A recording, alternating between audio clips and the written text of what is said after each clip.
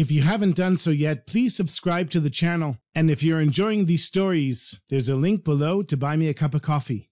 This is the Hasidic Story Project with Barak Hullman, podcasting from Jerusalem, Israel. This podcast is sponsored by listeners just like you. To become a supporter of this podcast, please go to HasidicStory.com. H A S I D I C Story.com. You'll never know. Never know. You'll never know. You'll never know. Shalom Aleichem, my sweetest friends. I'm recording this at the end of Tzom Gedalia of the fast after Rosh Hashanah, and hopefully my brain will be working and I'll make sense of the stories. So this week I have two stories for Yom Kippur, and any of the stories in the archive, I'll put them at the end. But before I begin, I want to dedicate this podcast episode to the continued success, Bezrat Hashem, of our soldiers in battle wherever they are, the returning of all the hostages, whole, healthy, and alive, the refuah the full recovery of everybody who's been injured or who is ill, the comforting of those that lost loved ones, and the continued unity of the Jewish people here in the land of Israel and all around the world. One more thing that I want to add before I start the story. A loyal listener of the podcast, Yitzchak Meir Malik, has a project where he buys equipment for soldiers that the IDF hasn't provided. And he has a website at notesofstrength.com where you can see that he's bought thousands of tactical military gloves, tactical boots, helmets, bulletproof vests, and much more. And anybody who would like to support this project, I'll put a link in the description. This is a story that I heard from my rabbi, Reb Shalom Brodt of blessed memory, who he heard from his rabbi, Reb Shlomo Carlebach. It was Simchat Torah in the Soviet Union in Moscow. And as everybody knows, in those days, religion was forbidden, suppressed, but there was a shul in Moscow that the old Jews were allowed to daven in so that people wouldn't say that the Soviets were totally suppressing Judaism, even though they were. And so there was a group of Jews dancing on Simchat Torah with the Sifrei Torah, and it was raining outside. And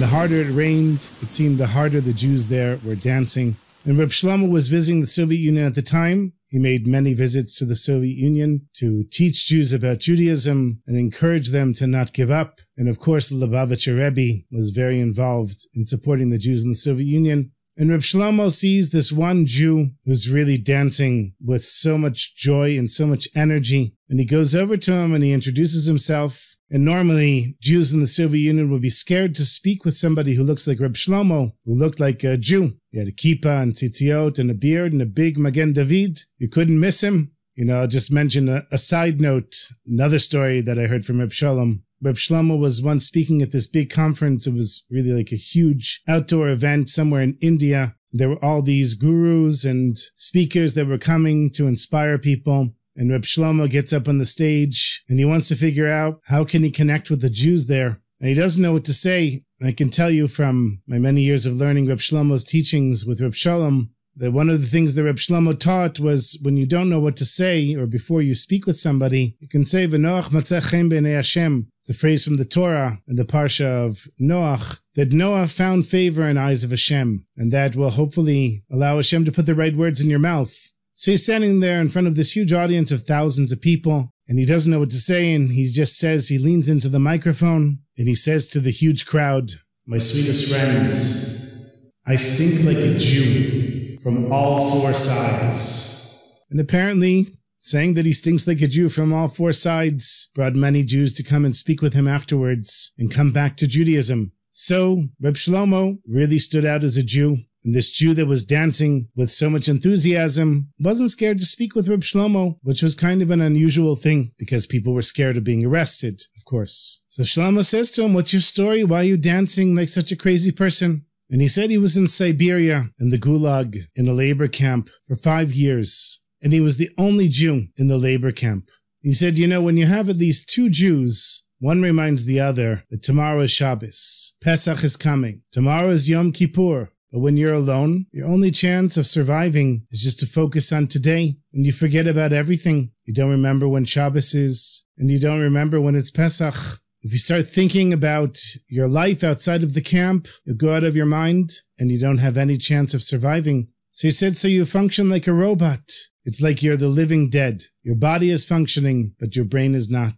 He said, and after five years in Siberia, two of the labor camps decided that they were going to do a prisoner exchange. And so the guards led the prisoners for a long journey of several days in the snow. It actually took them 10 days until they met up with the other group from the other labor camp. And they were going to exchange the prisoners. And there were armed guards making sure that nobody ran away. And all the prisoners were warned not to speak with other prisoners from the other camp. And so what they did is they had the prisoners from each of the camps march around in a circle. Because it was winter, they didn't want them to freeze to death.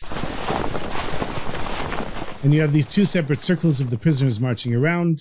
And so this Jew tells Reb Shlomo, all the prisoners of his camp are walking around in a big circle. And a few meters next to them are the prisoners from the other camp. They're also marching around in a circle. And suddenly I hear a non-Jewish guy calls me from behind. And he says to me, Psst, hey Jew, listen, don't turn your head around. I don't want anybody to know that I'm talking to you. And so the circle started going around again. The two of them are waiting until they get back together and they can talk again. He says, I have to tell you something. Amongst the prisoners in our group, there's a Jew like you. And he hasn't seen a Jew for many years. He heard about you and he says he has to talk with you. And he said he has to talk with you now. And he said he doesn't care if they're going to shoot the both of us. Because in the end, we're all going to die here anyhow. So pay attention. When you see somebody jumping quickly into this circle, know that it's your fellow Jew. So the Jew who's telling the story to Reb Shlomo, he says, I was completely worn out. And suddenly I see this prisoner from the other circle jump out and quickly joins our circle. And within a few minutes, he managed to get himself in a spot right behind me. And he whispers to me, Shalom Aleichem. I say to him, Aleichem Shalom. I was so happy to see a fellow Jew that I actually stopped marching. He says to me, Don't stop, they're going to shoot us. And he says to me, you know, I've been in the gulag for five years and I haven't seen another Jew in all those years. And I said to him, I've also been here for five years and I haven't seen another Jew for five years as well. So then I said to him, Why did you need to talk with me? Is there something special happening that you need to talk with me? And he says to me, Do you know what tonight is? And I said, How am I supposed to know what tonight is? Said, Tonight is Yom Kippur, the holiest day in the whole Jewish year. I told him I was never religious, but on Yom Kippur night, I would always go to shul with my grandfather. And this guy says to me, I don't remember much, but my father, he was the chazan in Kishinev. And when I was a boy, I was a wonder child. I had a beautiful voice. I was the soloist and I used to sing in the choir. And I remember Kol Nidre. So I said to him, Can you sing Kol Nidre for me? And he started to sing.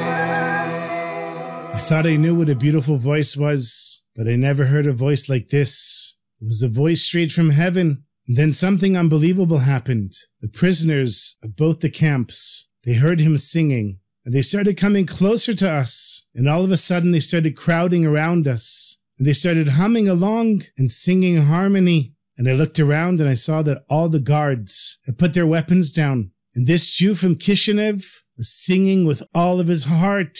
Can you imagine the scene? Here we were in Siberia, in the snow, guards and prisoners, only two Jews, singing Kol Nidre on the night of Yom Kippur. All of these half-dead people coming back to life for just a minute. And so we stood there singing. And at that moment, we felt that we were no longer in the slave labor camps in Siberia. We felt like we were standing in the holy temple, in the holy city of Jerusalem. But then reality set in and we realized where we were and we were looking around for the chief officer of the guards because he was a cruel man. And we had just violated all the commands. We stopped marching. We broke the circles. We were mixing together. We were singing. We were concerned that the guards were going to shoot us all. And then we heard shouting and it was the captain of the guards. And he was telling one of the guards who had picked up his rifle and was ready to shoot us to stop. Halt! Let them be. So the guard put his gun down the captain of the guard walks over to us, and we were shaking when we saw him standing next to us. He put his hand on his gun, and he said to us, What are you two Jews doing? So not knowing what to say, I answered him, Your Honor, we're singing a song. The captain said, You're singing a song, huh? And I said, Yes, sir, we're singing a Jewish song. The captain said, Okay, then sing some more. But we knew that we would start singing and he was going to shoot us. So we told him, Your Honor, don't make us sing knowing that you're going to shoot us. Just shoot us now and get it over with. And the captain's voice became calmer. He said, My friend, I'm not going to shoot you. That was a beautiful melody that you were singing, and I want to hear it again. Will you please continue to sing that melody for me? And so we continued singing, and as we sang, we saw tears fill the eyes of the captain of the guard and roll down his cheeks. We didn't understand what was going on, but we knew that singing was going to save our lives. And so we sang more and more, and everyone joined us.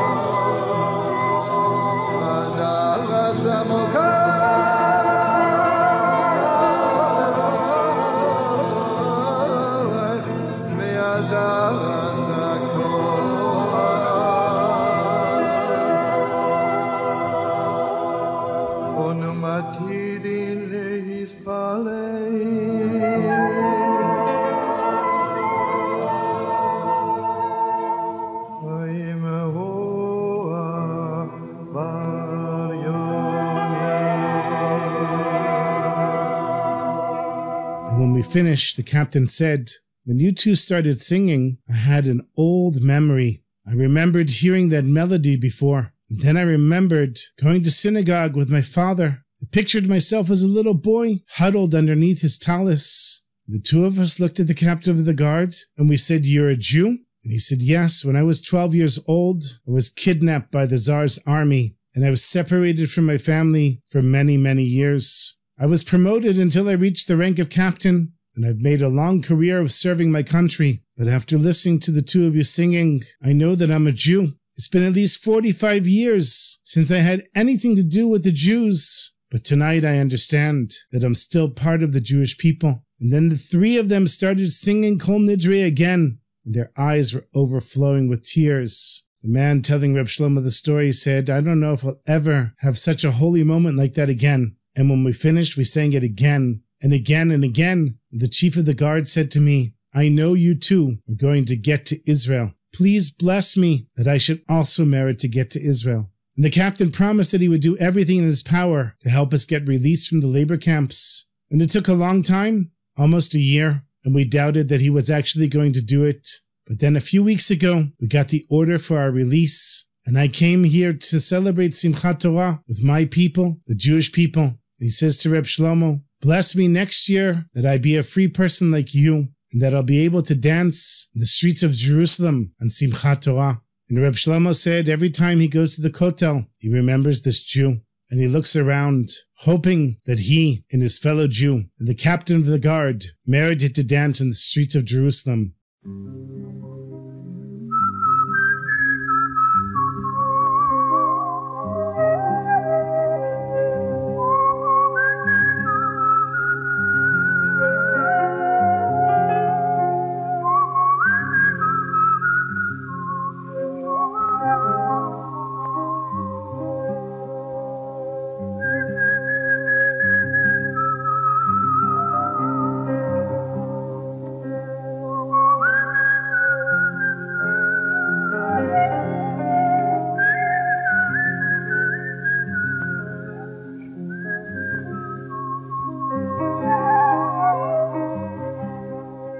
Have one more story for you. Oh, this is a story that I heard from Reb Shlomo, but I couldn't find the source for it.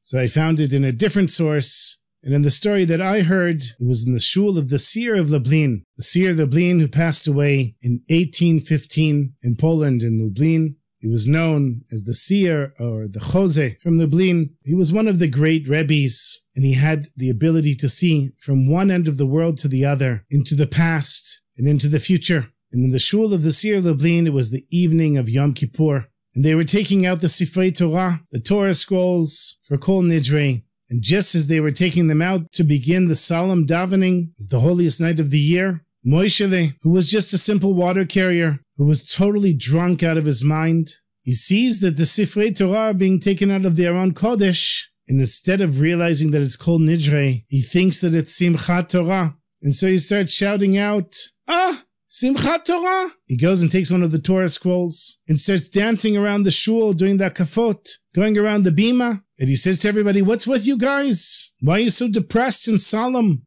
It's Simchat Torah. Everybody's looking at the Rebbe saying, Rebbe, he's the one who's drunk. We know that it's Kol Nidre and not Simchat Torah. What's going on here? The Rebbe told everyone to calm down. Let him be, because for Moishele, it's already time for that kafot.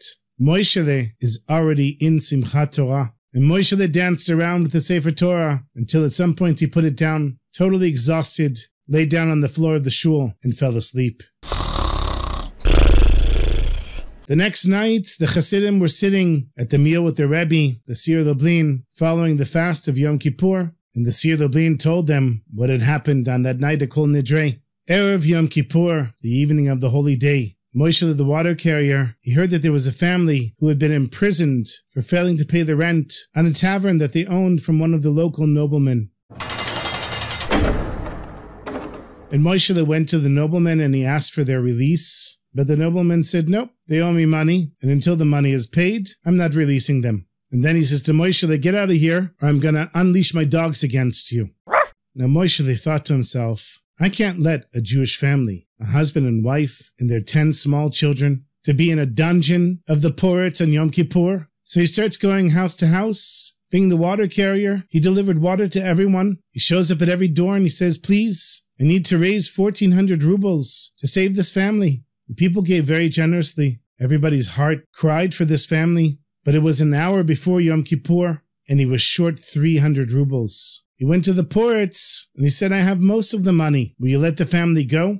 And he looked at Moshe and he said, I'm pretty impressed that you put that money together, but no, not until I get all 1400 rubles. I won't take one ruble less. So Moshe, he's walking around and he passes by a tavern and he sees in the tavern is a group of well-dressed young Jewish men that are sitting, playing cards and drinking.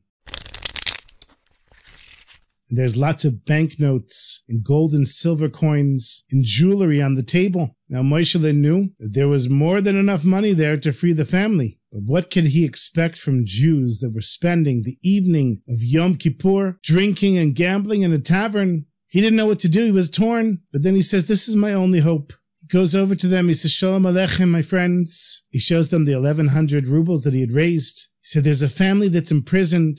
We're only a short amount of time until Yom Kippur, and I want to release them from prison before the holiday starts. They looked at Moshe and said, Get out of here. We're not interested in helping anyone. But then one of the Jews there said to his friends, Wouldn't it be fun to get a religious Jew drunk on Yom Kippur? He calls out to the waiter, Hello, hello, waiter, get over here. Come here. Bring a large glass of vodka for my friend here. The waiter pours the vodka. Big glass. It might have been the equivalent of a third of a bottle of vodka. And so, this Jewish gambler, he says to Moshe, you drink this down in one gulp, and I'll give you a hundred rubles. Right away, Moshe takes it, says the bracha, holds his nose, and swallows down the whole glass of vodka. Now Moshe was not much of a drinker, and that amount of vodka really knocked him out. But once he did it, the gamblers were very impressed. Bravo, bravo! They gave him a hundred rubles. Moshe says, I need another 200 rubles to get this family out of prison. And the gamblers were very happy. They said, a deal is a deal. A hundred rubles per glass. Waiter, pour another glass for our drinking buddy. And so they poured him, in the end, the entire bottle of vodka. He got his 200 rubles and somehow worked his way to the Poritz. He thought he was going to pass out before he got there, but he makes it to the port and he says, Here's your money. The Poritz counts it. He says, I'm very impressed, Moshe. You can have your Jews. And the family is freed, and they're so grateful to Moshe. They tell him, We will never be able to repay what you did for us. But Moshe was so drunk he didn't even hear them talking. And he knew, it's Yom Kippur. I have to get to shul for Kol Nidre. But by the time he got there, he didn't remember was it Kol Nidre or was it Simchat Torah. And when he saw them taking out the Sifrei Torah, he was convinced that it must be Simchat Torah. And he took one of the Sifrei Torah and started dancing. So the Seer of Lublin sisters Hasidim, you see, after an act like that, Moshe was already written and sealed in the book of life, not just in this world, but in the world to come. So he said, if you get to Simchat Torah and you feel that your davening hasn't been accepted, start dancing in Bezrat Hashem. Through your joy, Hashem will inscribe you and seal you in the book of life for a good and sweet new year. Oh.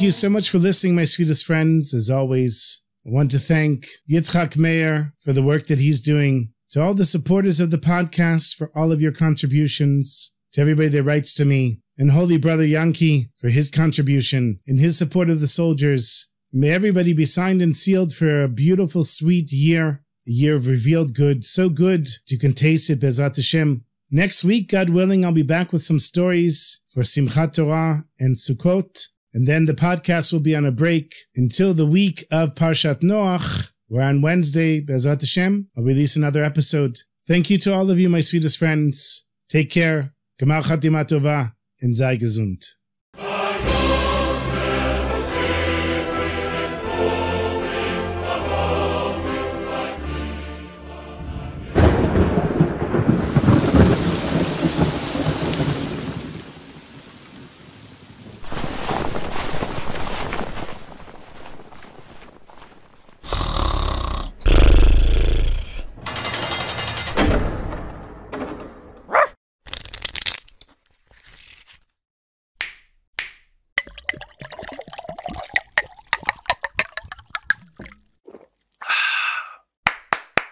This week, I'm going to share with you one new story about Yom Kippur and a couple of stories from previous episodes. It was the evening of Yom Kippur in the town of Yaroslav, just before the start of Kol Nidre, and a young Avrech, a young Torah scholar, bursts into the shul, doesn't even look left or right, goes straight up to the bima, and without any words or introductions, starts to begin the services with the Kol Nidre prayer.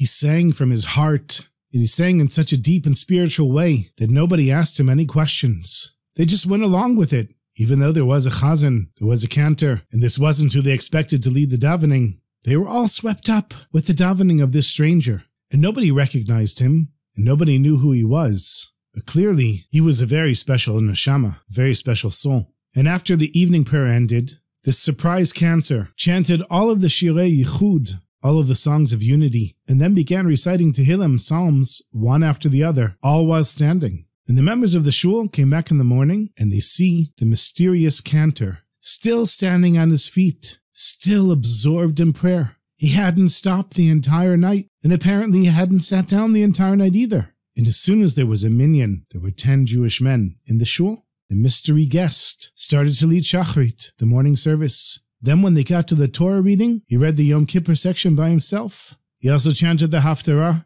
He led the Yizkor service. And then immediately afterwards, he began Musaf, which is a very long davening. And at this point, the members of the shul didn't understand who was standing there. How could a human being stand and daven for so long?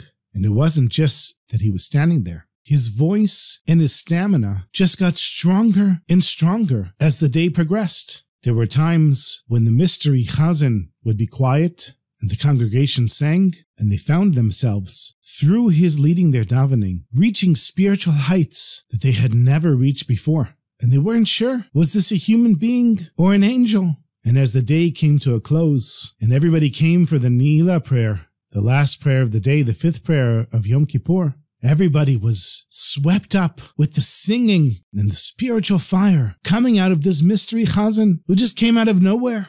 And as he stormed the gates of heaven, asking Hashem to bring the Jewish people, in the merit of their tshuva, complete salvation, everyone was sure that this couldn't be a human being. It had to be an angel. And one of those people that was present was Rabbi Yaakov Meshulam Orenstein, who passed away in 1839. And he was the author of Yeshua Yaakov, and it's from him that we know the story. And after the services ended, Yaakov Meshulam decided to follow this mystery guest back to where he was staying to see if he was going to eat something or not, because that way he would know if he was a human being or an angel. And he saw how he heard Havdalah, which officially ends the fast in Yom Kippur. He heard it from other people, and then he asked his host for some kfikinish, a tasty morsel, to refresh his soul since it was hungry. And so they happily gave him some cake and fruit, but they were shocked when he said, No, this is not what I mean. I mean, bring me a Gemara Sukkah, the tractate of the Talmud that talks about the festival, which comes four days after Yom Kippur. And carrying the large volume of the Talmud under his arm, he went to his room, saying that he wanted to rest. At Rav Yaakov, he looked in the keyhole and he saw that the mystery Chazan opened up the Sefer, the Talmud, and started to learn with such an enthusiasm and excitement. He didn't pause for one minute. Rabbi Yaakov himself was so exhausted he couldn't stay awake. And so he went and broke his fast and went to sleep. But early in the morning, he decided to go back to the room of the mystery Chazan and see if he was still learning. And he saw that he was about to complete the final page of the Talmud on Sukkot. And only after he finished the entire Masechet did he come back into the dining room and ask for a cup of coffee and a little bit of cake.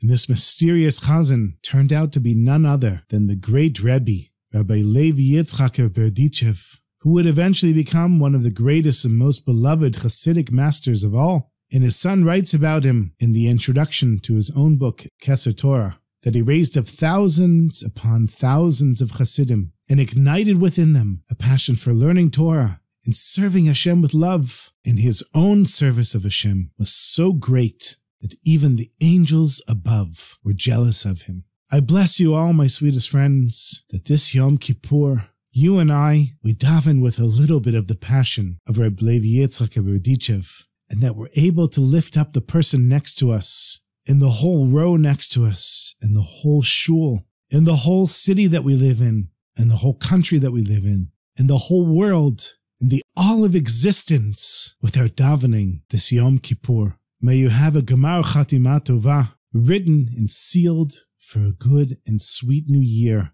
of revealed good and revealed blessings.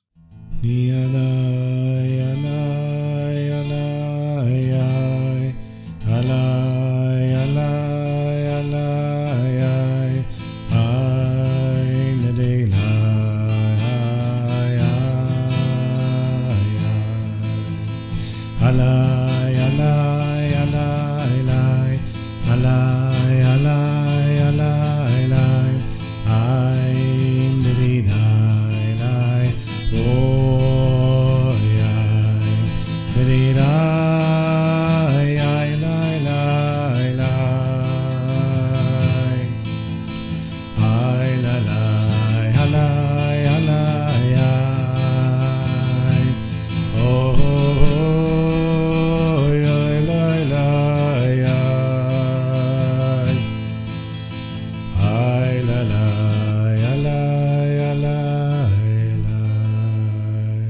Here's a couple more stories from you from previous episodes. Every year, Reb David Leikis, one of the closest Hasidim of the Heilige Baal Shem Tov, went to his Rebbe for Yom Kippur, the holiest day of the year. One year, the craziest thing happened. On his way to Mezhibuz, everything went wrong. The horses wouldn't go, one of the axles on the wagon broke, then a wheel broke, the wagon turned over, everything was happening to Reb David, and he didn't understand why. This went on for three days, and he said to himself, It's been three days already, and this is making me crazy. I don't understand what's going on here, but I have to make it to the Heilige Baal Shem Tov for Yom Kippur. Finally, finally, he was just two miles away from Mezhibuz. It was maybe 20 minutes to get there, and 20 minutes until Yom Kippur. He said to himself, Thank God, if I go really fast, I can make it on time. He was mamish crying and begging the horses. He said, Please, please make it there. And please don't anything go wrong. We have to get to Mezhibuz before the sun sets. Suddenly, on the side of the road, he sees nine people running across the field from a little village, waving towards him.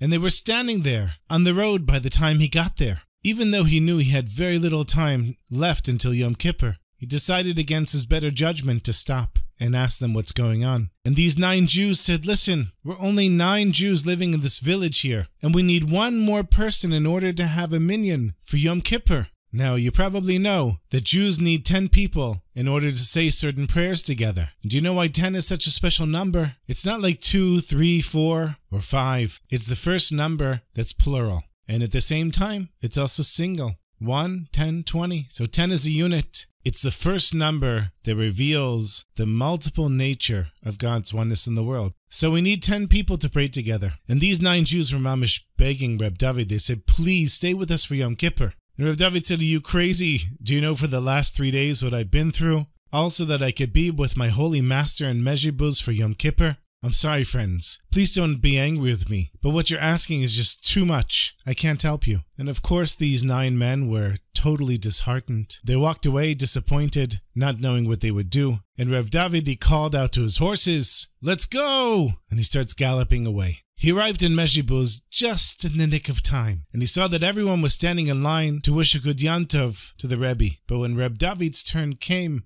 the Baal Shem Tov somehow skipped over him. Ah, he said to himself, he probably didn't see me. After Yom Kippur, the Baal Shem Tov wished everyone a good year, and when Reb David's turn came, just a split second before he had a chance to put out his hand, the Baal Shem Tov was already shaking hands with the person behind him. So Reb David figured, okay, I'll stick around to Sukkot, and we'll see what happens. By the time Sukkot came, Reb David realized this was no accident. He was intentionally being ignored by the Heilige Baal Shem Tov. So he went to his Rebbe, crying, pleading, Please, Rebbe, tell me, what did I do so wrong? What did I do to make you not want to talk with me and ignore me? The Heilige Baal Shem Tov, with his piercing eyes, he looked at Reb David and he said, David, how many hundreds of years was your soul waiting for the opportunity to come into this world? And your whole life happened, and everything happened, just so that you could daven Yom Kippur with those nine men. And when the opportunity came, instead of taking it, you insisted on coming here. But you don't understand, Reb David. The whole reason why your soul came into this world was to pray with those nine men for Yom Kippur. So now I'm going to daven for you. Bezrat Hashem, you're going to be given a new mission. And this time, even if it's uncomfortable for you, even if it's not the way that you wanted things to be, you make me a promise, Reb David. When that opportunity comes your way, and you won't know whether it is or it isn't, you're going to take every single one of them, no matter how uncomfortable it is, and you're going to daven with every minyan that calls you and go every place you need to go. And Be'ezrat Hashem, at least then you'll have the opportunity to fulfill the purpose that your soul came into this world.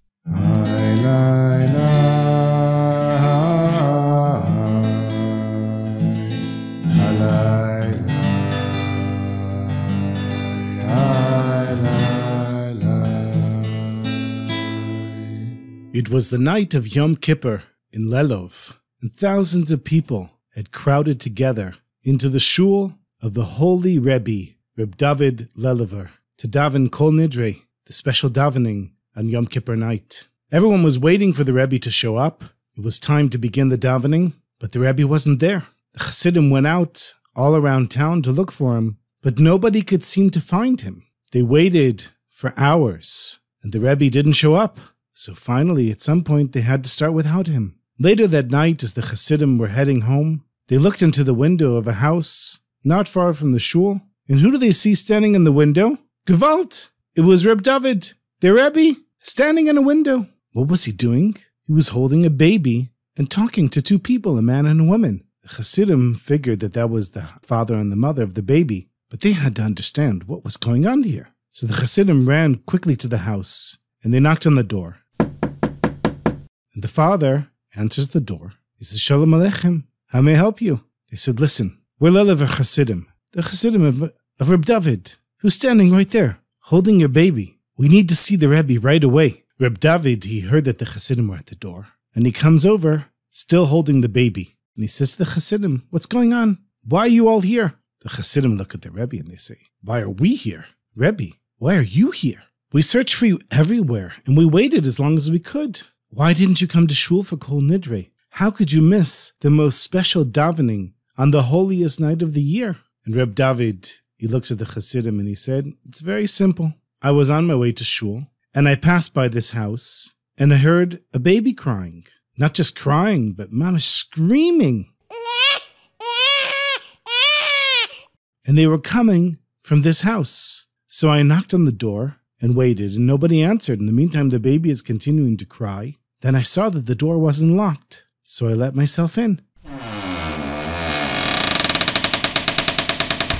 And I see this beautiful baby all alone, yelling at the top of his lungs. So what am I supposed to do? I'm, I'm gonna go to shul? No. I picked up the baby boy and I held him and I walked with him until he fell asleep. And then I stayed with him until his parents came home from shul. That's all very beautiful, said one of the other Hasidim. But tell us the truth. Wasn't it hard for you, Rebbe? I mean, in shul, the davening was so high. It was so inspiring. And normally you lead the davening for thousands of people. And here you were, all alone, in this house, with a little baby. You gave up the davening of Kol Nidre. Your mamish gave everything up. Then the father broke into the conversation and he said, It's all our fault. And Rebbe, we're so sorry to put you through so much trouble. You see, our baby boy, he almost always sleeps through the night. And we really wanted to go to shul. So we said, We'll put him in bed. We'll wait half an hour. And if he doesn't make any noise, we'll probably be safe to go to shul and daven a little bit, and then come right back home. We never imagined that he'd wake up and cry. Reb David, he looked at the parents and he looked at the Hasidim. He said to them, None of you understand. It wasn't any trouble. I didn't give anything up. And for sure, I didn't pray alone. I was with this beautiful baby. Can you imagine how hard I prayed?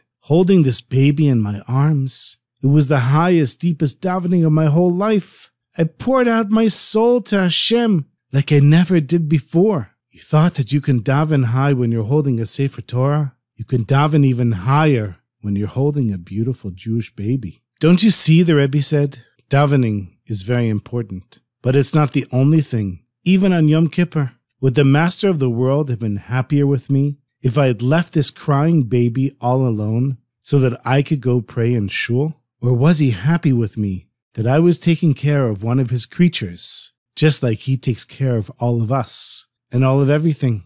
So the truth is, I was ready to not daven at all. If the baby cried the whole time, I was ready to stay here and play with this baby and walk this baby until his parents came home. And for me, that was the highest davening. The highest kol nidre I ever had was tonight when I was with this little baby boy. So you see, my friends, everyone wants to be holy. You can work on yourself all the time and try to guard yourself from anything that might bring you down. And that's very special and very beautiful. But there's another way to be holy, a different way to be holy. It's when you're ready to give everything up. You're ready to give up your davening, your learning, every level that you've achieved in order to help your fellow Jew. And the truth is, the level you reach when you're willing to make your own personal holiness smaller for the sake of another person, that's beyond everything else.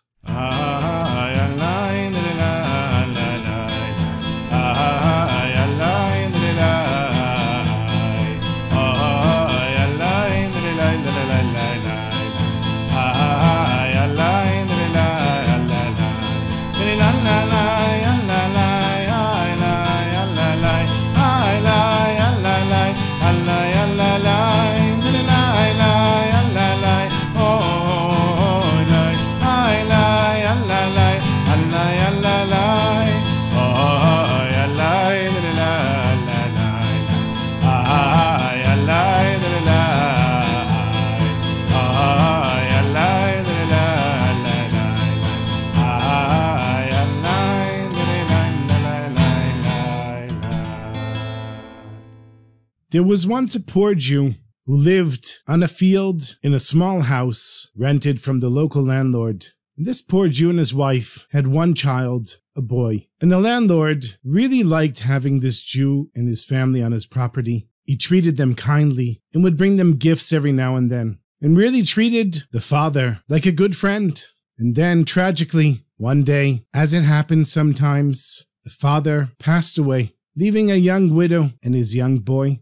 And the widow, the mother and the wife, was so heartbroken when her husband died that she also died, chas v'shalom. And her son was left without any parents. But the landlord, he loved the parents and he loved the boy. And not having a family of his own, he decided to adopt the boy as his own child.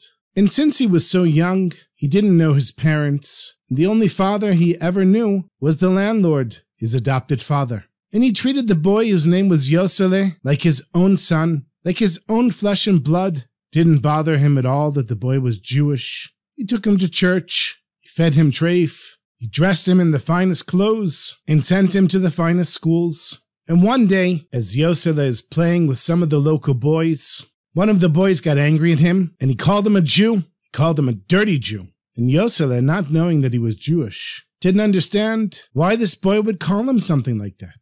So Yosele ran back to his father and he says, Father, I don't understand. The boy called me a dirty Jew. And the father said to his adopted son, Don't pay any attention to them. He didn't mean it. You're my own flesh and blood. You're my only relative, my only child. You know that you're the only heir to all of my property, all of my buildings, vineyards, all of my lakes and forests, everything. It's all in your name. So what difference does it make if some little boy calls you a Jew? What difference does it make? You're one of us. But Yosele says to his father, Please tell me the truth. Am I really a Jew? And the father said, No, you're my son. I'm not a Jew, and you're not a Jew. But Yosele couldn't get it out of his mind. Why would this boy call him a dirty Jew if he wasn't really a Jew? And he kept saying to his father, Please, it doesn't make any sense. You have to tell me the truth. And after enough time, the foster father had to admit that he wasn't actually his own flesh and blood, but both of his parents had passed away when he was just a tiny boy, and so he adopted Yosele and treated him as his own. So Yosele said to his father, Please tell me more about my parents. What can you tell me about them? He said, Your parents were very honest and hardworking people, but they had no money. They were so poor, they didn't leave you anything. The only thing they left you was an old book in an old ragged sack. And Yosele says to his father, Can I please see them? And the father goes, brings this old book in this worn down little sack. And when the boy takes the book out, he sees that it's a machzor, it's a prayer book for the high holidays. And although it's all written in Hebrew, on the title page, it says in Russian what the book is. And inside the worn out bag is a shawl, a talis, with the tzitziot. And it's old and worn down as well. And it has strange letters on it. But Yosele knows these belong to his parents. And he took the machzor and the talis in its bag and put it in a special hidden spot in his room. And every night he would take them out and look at them and smell them and try to imagine his parents. And one day Yosele is playing in the street and he notices there's some Jewish families on wagons ready to start a trip. So he goes over to them. He says, Are you going to the fair? And they said, No, Yosele, we're going to a nearby village because it's almost the holiday of Rosh Hashanah. And he said, What is Rosh Hashanah? What does that mean? And they said, It means that it's the Jewish day of judgment, the new year for the Jews, that God has holy books in heaven and he opens up the books and sees all of the deeds that every Jew has done over the past year, and he judges each person individually. Then the family realized they probably overstepped their bounds. They're telling Yosele too much, and he might go back to his foster father and discover that he's a Jew, and they'd get in trouble. So they wished him a farewell, and they got in their wagons and rode away. Now Yosele's heart was pounding the Jews have holidays, and the day of judgment for the Jews is coming. And I don't know anything. He went back home and took out his machzor and his talis, and he fell asleep with them next to his head. And that night, a man comes to him in a dream, and he says, My son, I'm your father. Yosele, you're a Jew. You need to go to shul, to the synagogue, and pray with the other Jews. And don't worry if you don't know anything. I promise you, God will listen to your prayers. And Yosele woke up in a cold sweat. and he kissed the machzor and the talis. And he said, Hashem, please, you have to help me. I don't understand what's going on with me. And the next night, he had another dream. And this time his mother appeared to him in the dream, and she said, My sweetest, dearest son, Yosele, you're a Jew. In your place is amongst your brothers and sisters, the Jewish people, and not in the house of the Gentile landowner, even though he's a very good, sweet man, and he's taking care of you. Today is Rosh Hashanah all over the world, and even up here in heaven. Go and join your brothers for Rosh Hashanah. It's not too late. And so Yosele woke up in the morning and he was scared to tell his foster father what had happened. But then his father went hunting and Yosele was left all alone and he's thinking about the dreams in his parents and he makes up his mind. He grabbed his two most prized possessions, the talis and the machzor. He left a note for his father. Father, I'm going on a journey to discover my Jewish roots. I promise you I'm okay and I'll be fine and I'll come back afterwards. Don't worry about me. And he ran out of the house. He ran through all the fields. He ran in the forests.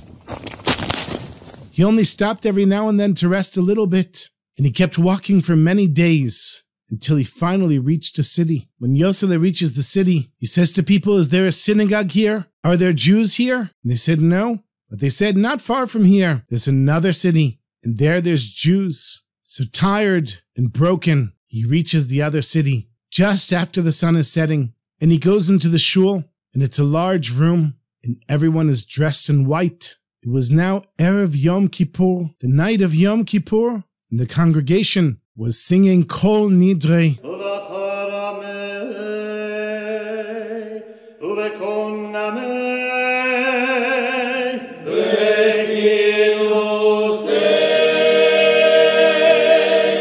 Yosele was listening to the davening, listening to the melody, and he felt his heart crying for Hashem. He was overflowing with emotions and a desire to be part of the congregation. He wanted to daven with everyone, but he didn't know how. In his pain shook the heavens. And that night on Yom Kippur, in Mezhibuz, the Heilige Baal Shem Tov was also bringing in the holiday. And as he stood in the beis midrash, wrapped in his talis and kittel, the Hasidim could see that something was wrong. Something was troubling their Rebbe, and they could see it on his face, but they were too scared to ask him. And the congregation sang Kol Nidre, and all of the davening on the night of Yom Kippur.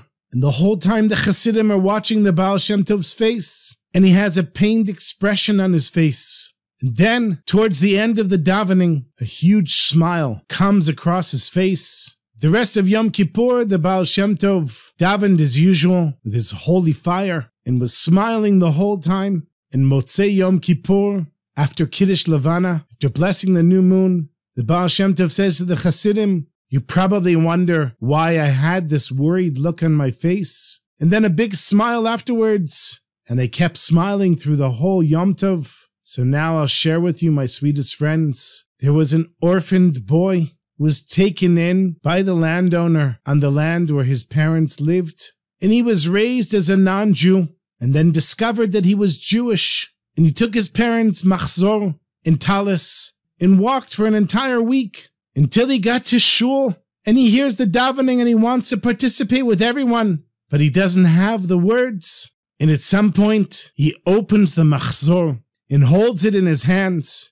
And he says, Master of the universe, I don't know how to pray or what to say or what to ask for. I don't know what it is to be a Jew. But God, I have this prayer book and it belonged to my father and mother. And I wish I knew what to say. But this prayer book has everything in it. All the letters and all the words. So I'm begging you, Hashem, please arrange the letters and words into my prayer. And then he put his face into the machzor and cried and cried until the pages of the machzor were soaking wet. And at that point, there were tears in the eyes of the Hasidim of the Baal Shem Tov. And they said, Rebbe, but what will be with this boy? And the Rebbe said, I've already taken care of it. And of course, the boy came back home.